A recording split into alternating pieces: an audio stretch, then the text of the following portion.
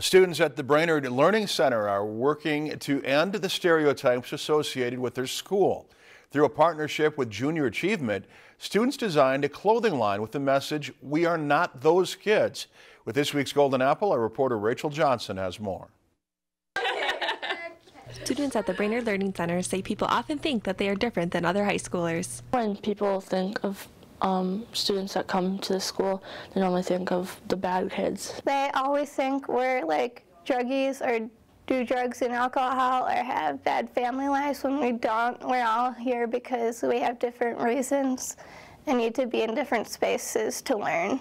Through a partnership with Junior Achievement, they are working to break those stereotypes. I've been teaching here over 30 years, and I have to explain every time I tell somebody I work here that no, they're really not those kids. A newly formed entrepreneurship class at the school allowed students to create their own apparel line featuring the BLC logo along with the motto, We are not those kids.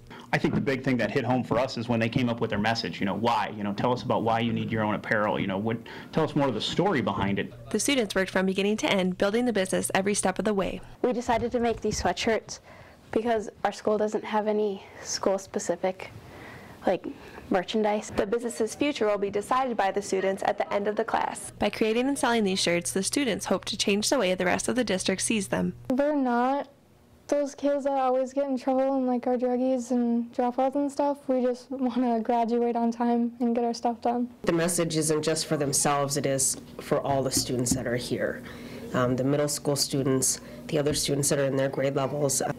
It's okay to be different. The students went into the class not knowing what to expect and have learned a lot from the process. This whole process has taught me to like have more confidence and like not be afraid to talk to adults about real life situations. Getting to work with all my friends and learning new stuff about starting a business because I thought it would be super easy, but it's really not that easy. For the Junior Achievement volunteers, this class has been just as impactful to them. To watch them talk about this with pride and to see the looks on their faces and really see how they feel inside, this is has been my most rewarding junior achievement experience ever. Though the business might only be a short term venture, the teachers hope the lessons they will learn will stick with them forever. Reporting from Brainerd with this week's Golden Apple, Rachel Johnson, Lakeland News.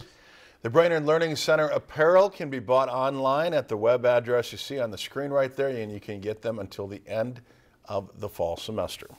If you enjoyed this segment of Lakeland News, please consider making a tax-deductible contribution to Lakeland PBS.